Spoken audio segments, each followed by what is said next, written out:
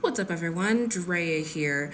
Um, as we approach the end of the anime season, basically, most of my series have ended at this point, even though I haven't watched the endings because um, I've been busy. Let's talk about a series that took me a while to admit that I just did not want to watch.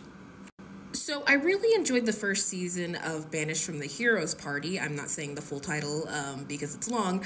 And I was excited for the second season, but honestly, I wasn't sure what they were going to do. It was kind of a more chill series, but it ramped up near the end, and I wasn't sure where it was going to go. And um, after watching four and a half episodes, I realized um, it's just kind of meandering, and the animation is mid and I was not interested in watching the rest of it.